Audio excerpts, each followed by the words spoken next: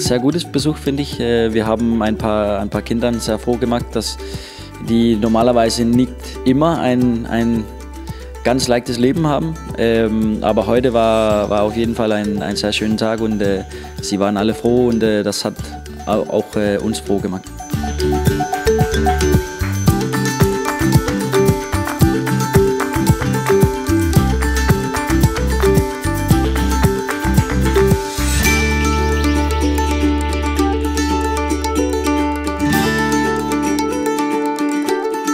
Fand es eigentlich krass, äh, trotz ihrer Situation, wie fröhlich die Kinder waren. Das hat mir am meisten gefallen.